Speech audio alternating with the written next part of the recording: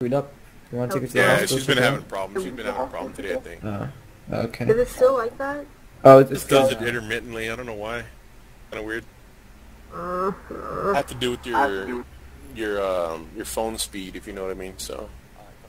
yes, it is. Oh, really? Oh really? Well, she might, yeah, because it, if it's if you have uh, other things going on, and you're and it's lagging your stuff out, Yeah, then yeah, it, heard- it'll, it'll affect your your your TS a little bit. I your voice heard. Uh, box. I heard What? Z Oh, Mobile. jeez, here we go again.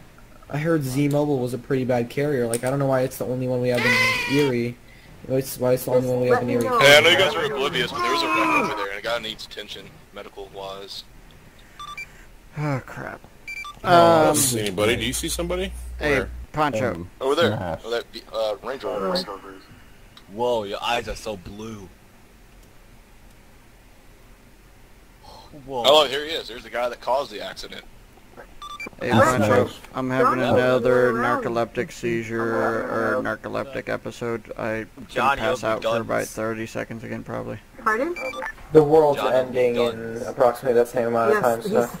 he told me that. He said Okay, he well, went I'll just around. hang out here. Wow.